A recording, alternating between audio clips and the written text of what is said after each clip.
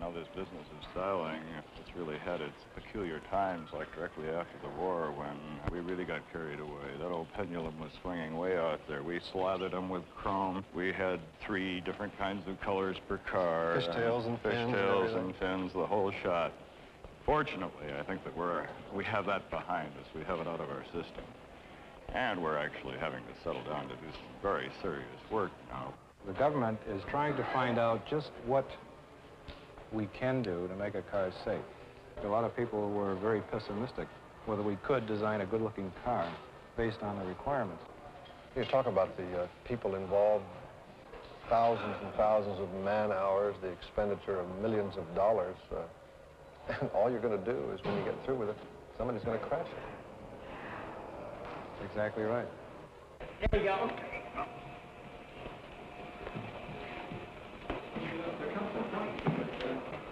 Gents, uh, she's gone. Up. There. Grab it.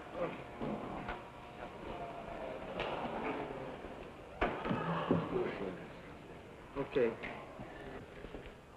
At the design center of the Ford Motor Company, tomorrow's automobiles are already taking shape. They will be substantially different from today's, not so much because of designers' efforts to initiate changes in appearance, but because of the dictates of safety. To tell about this new era in automotive design, its effect on the men who design automobiles, and on the automobiles themselves, reporter David Dials was invited to spend some time at Ford's Design Center. His first talk was with the Director of Safety Design, David Wheeler. we as uh, viewers, readers, consumers, just, I guess, in the last couple of years become aware of the government's increased involvement with automotive safety. How extensive is that involvement right now? Well, so far, there's about a hundred different subjects that have been covered both in advanced notices and in actual standards. And those notebooks in the back there cover uh, many of these, but there's about a hundred in all. And virtually every part of the car has had a standard written about it. For example, one is indirect visibility. Uh, indirect visibility is what you see through your mirrors in your car and is your view to the rear through these devices.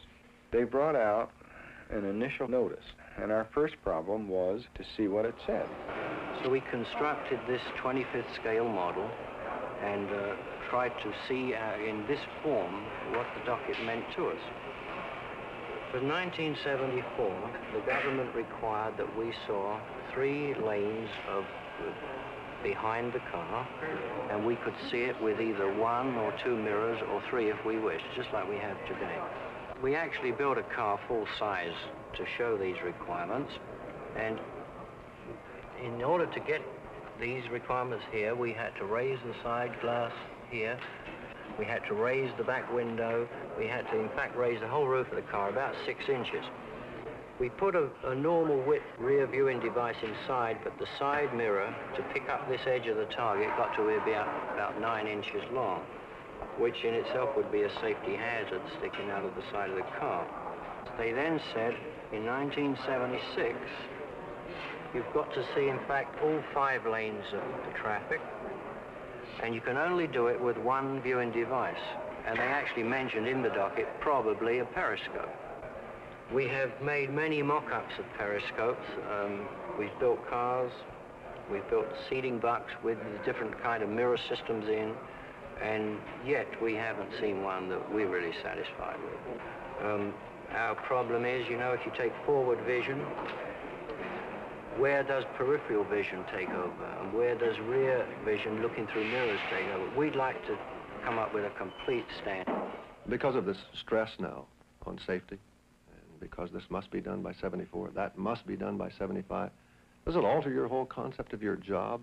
Are you so much a style designer now as you thought you were before? Well, I don't like your saying that I was before, uh, because many people think of the automotive stylist, as he's called, and incidentally, this is called the design center instead of styling, uh, as a person who just did the outside, and that's not true. Um, what we designed into the car, or tried to, was desirability. And And uh, this is both engineering and appearance uh, efforts to make this happen. A man doesn't care how things look in front of him if he's not comfortable in his seat. Or if we put dandy letters on the speedometer and you can't read what the numbers are, uh, we're not getting any place.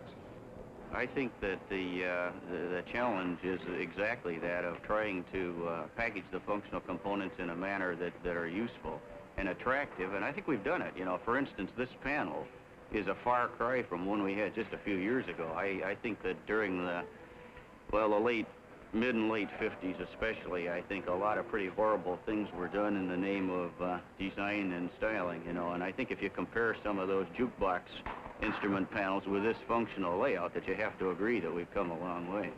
One of the problems, uh, I guess it's more of a complaint than a problem, is serviceability, uh, getting something repaired.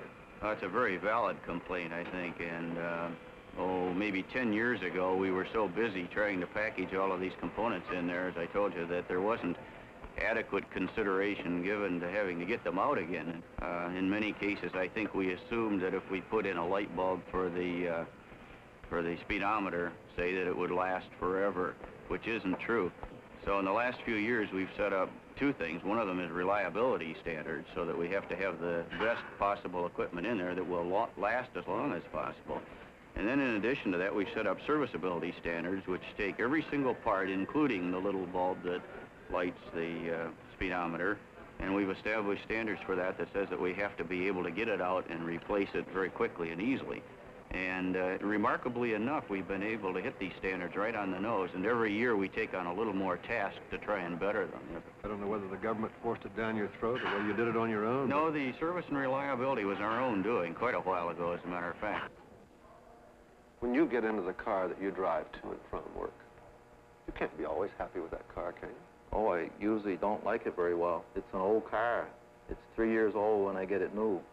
It, it's That's because you've been working on one three years in advance? Beyond this, and I am quite dissatisfied with what we did at that time. I think that a designer is inherently dissatisfied with things the way they are. That's why he designs. He, he wants change. He doesn't accept the way it was done before. You're not concerned, then, that some of the uh, standards being set for you outside your industry are going to inhibit you as a creative person, as a designer? Well, they're problems. They're difficult. Some of them may be unrealistic, and we, we're negotiating back and forth constantly on these things. The um, restraining of the occupant in the vehicle, um, if you were going to ship an egg uh, from one point to another, would you put it in a box and at the other end of the box put an explosive device with a airbag or whatever you want to call it? Is this the best way to protect the egg from getting broken when you move it? This is really what we're doing with people. We're putting them in a container and we're moving this container. And the container has to be subject to violent maneuvers. How do you best package this person? So we're exploring. Two, one, fire. We think of cars primarily as running into a wall. But in this case, the car and the dummies are sitting in one place and it's suddenly driven backwards.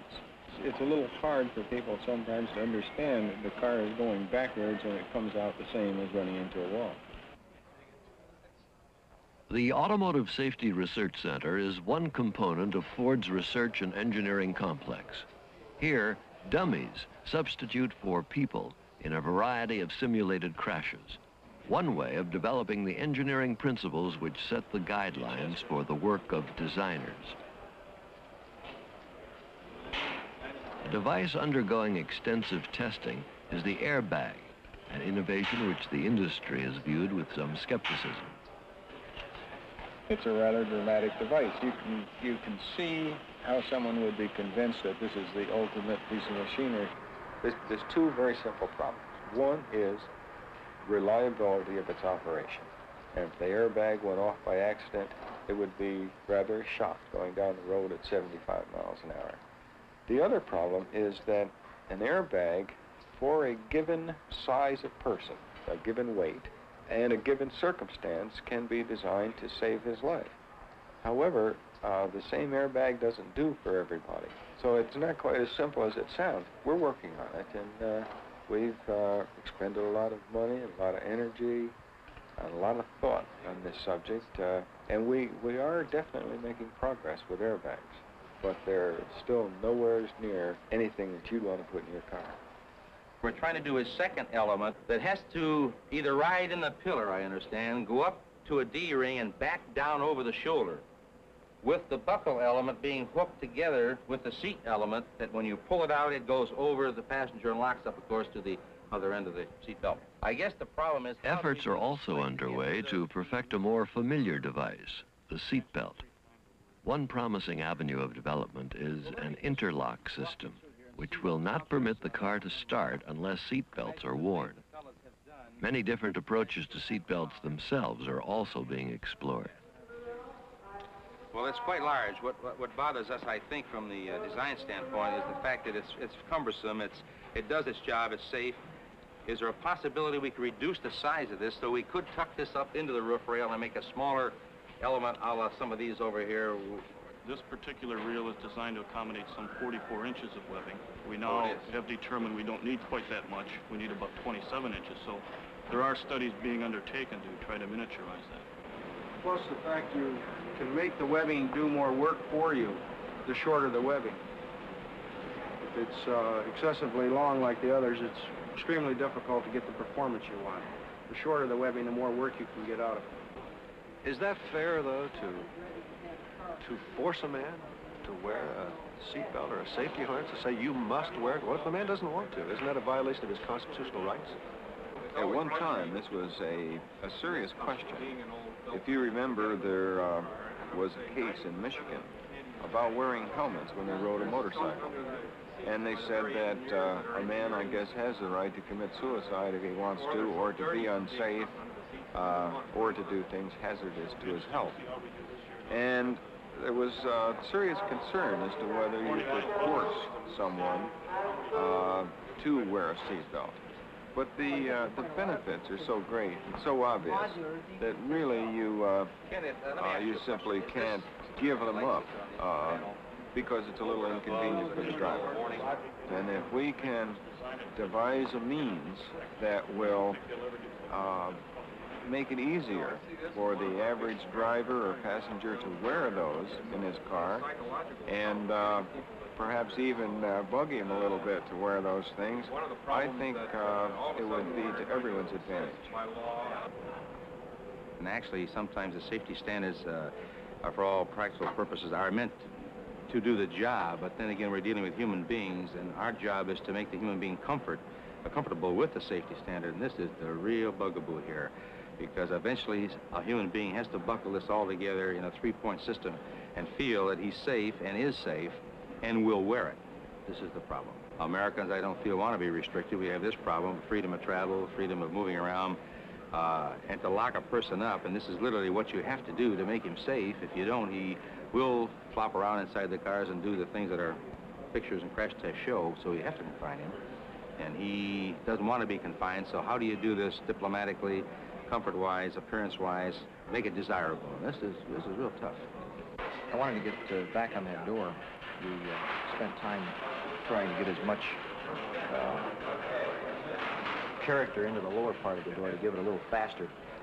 This is the experimental safety studio, Dave. Rather than being concerned with uh, with the production end of it, that is meeting the uh, latest standards, here we're concerned about getting these things into advanced cars and approaching the problem uh, very early in the game so that there's an opportunity for us to to think about the thing before we have to build one.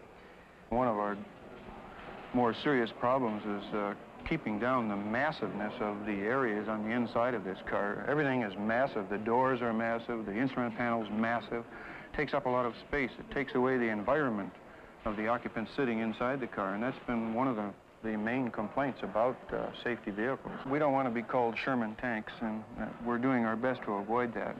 Doesn't this open up a whole new can of worms for you as a designer, though? You mentioned the challenge before. Uh, Yes, and, and frankly, I, I enjoy this type of work more uh, than being just a stylist. I think our job is not to be the, uh, the flamboyant uh, uh, sketch artist and uh, do it uh, hell or high water because we like it that way. It, it just isn't going to be that way anymore.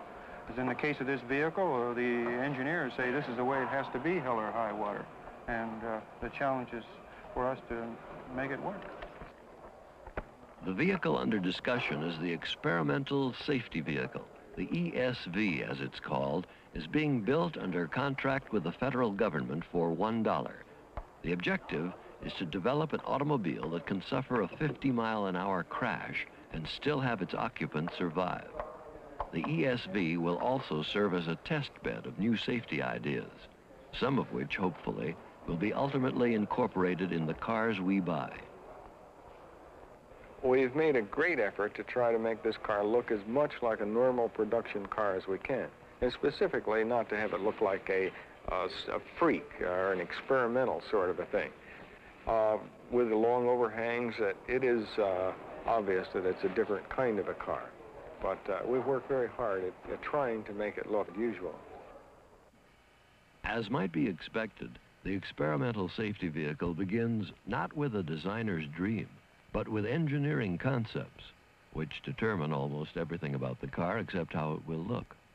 And although the finished safety vehicle will appear usual, it is far from usual from the point of view of the engineers who have been developing it.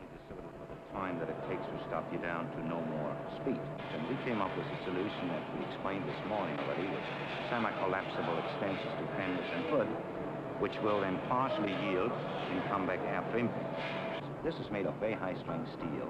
When it goes into the pole, the thing deflects, but it does not break or bend permanently. It's an enormously strong member. Each engineering innovation for the ESV is tested in a 50 mile an hour crash. Then mounted on today frame, we just rebuild, then make up a complete crash car. Of course, fenders will be added, the hood will be added. Obviously, this structure has something to do with our energy absorption again. As this thing impacts, it collapses to a very compact member. The force is transferred through those reinforcements against the firewall and its reinforced structure. I see the point you're making. You had the accordion effect over there, the, the accordion effect here. But why is all this necessary? Why can't you design something that's just sturdy enough or strong enough just to resist the crash, rather than having it absorb the energy? That's a very, very good question. In order to arrive at any livable and survivable deceleration for the car, it takes time. In other words, the more distance you have, like today, if you have to stop in front of another car, the more distance you have, the much more leisurely can you decelerate your car. Could I compare it to putting on one's brakes? Putting them on like that, you're going to thrust. Right. Put them on slowly, you can decelerate, as you say. That is exactly the point, yes. And for comparison, if you ever have a panic stop to make, you know what it means, how you feel being thrust Right. forward. The deceleration we are after here is 40 times that high and considered a survivable condition. Further down here, of course, we do not want any crushing to take place. This is the living room for the passengers and driver. This has to stay intact from all sort of crashes, sideways, rollovers, front and rear.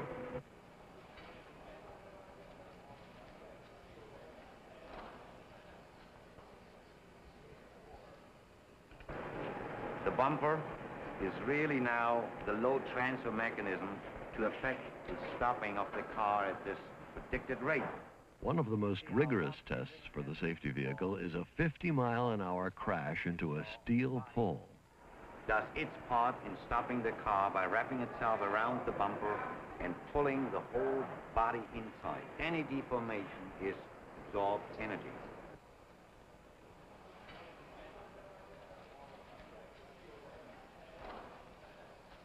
These cars do look like a disaster, but they look like a minimized disaster, and that's what we're doing. Uh, it's still a disaster when somebody hits a pole, but we're making it a little less.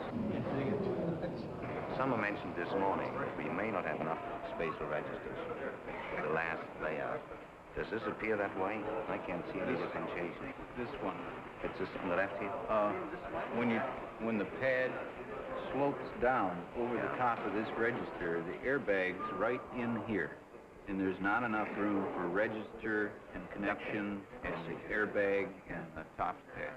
This is a, a task force of people from all over the uh, corporation who are involved in one way or another with the car. Uh, we have a man from body engineering who is responsible for the structures.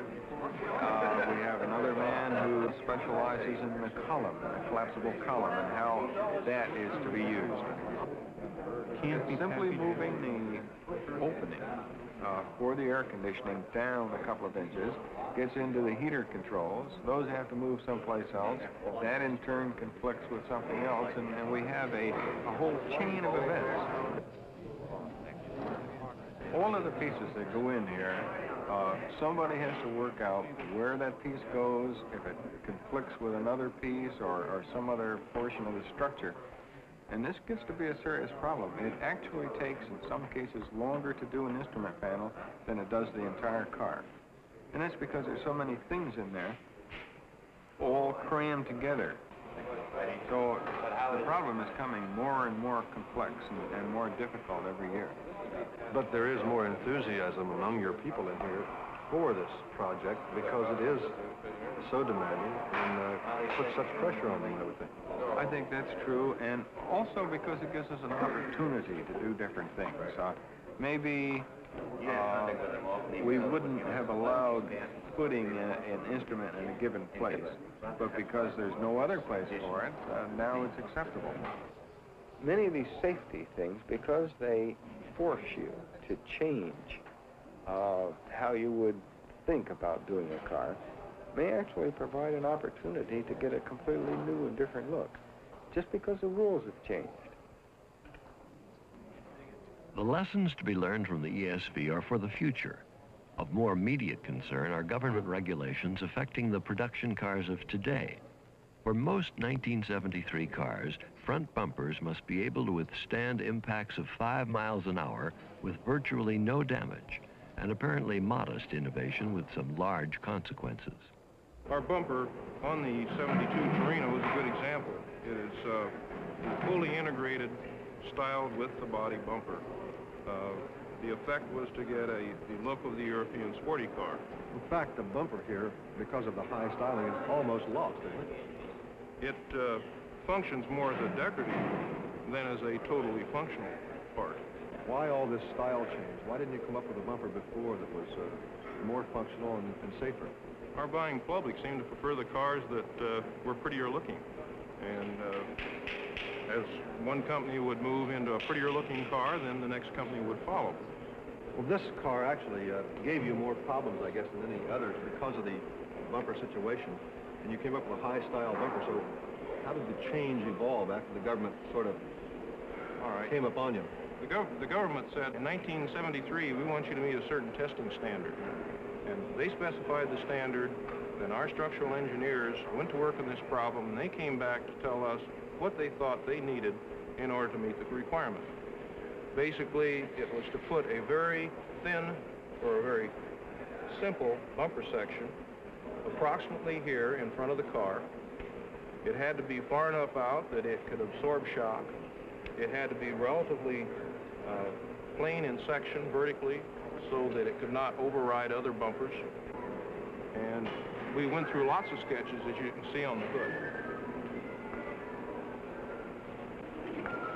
This is one of them you uh, looked at and obviously uh, threw away, I guess. Yeah, we, we said we'll put a parking light underneath the headlight, but we couldn't get enough height without changing a major portion of the structure of the front of the car. So this one didn't work, right? That, that didn't work. All right, this is the kind of thing that we then started zeroing in on. Let's, we said, let's take our headlights and we'll move them outboard.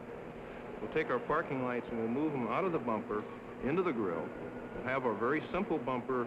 We'll primarily work with the style of our mouth and uh, what we can do in our fender ends. Just the bumpers changed that much about the total concept and appearance of the car, right? Yes, it's, uh, I think it amounted to 108 pounds or so, the first bumpers, but also it got back into the suspensions, into the, into the uh, tire size. It affected the weight of the car. Many things telegraphed themselves all the way through the automobile as a result of what happened up here in front. We went through a lot of trouble to finally get to what we see over here, I guess. We sure did. It's the answer that we know that meets the requirement to our knowledge today and to the requirements that our engineering people think we should meet. Dave, with all the standards being set for you, and with the ideas that you have on your own here and all your people, what can we expect as consumers? What are we going to buy when we go into that showroom two, three years hence? Well, certainly you're going to have a safer car. There's no question of that. Uh, with the uh, uh, things that we've done to the interior of the car and the restraint systems, uh, you're going to be safer in an accident.